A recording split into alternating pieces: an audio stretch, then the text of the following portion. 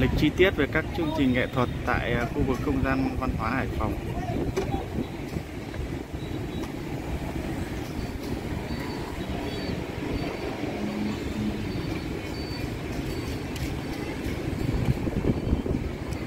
Cùng đến đến 12 tháng 5 là các chương trình kết thúc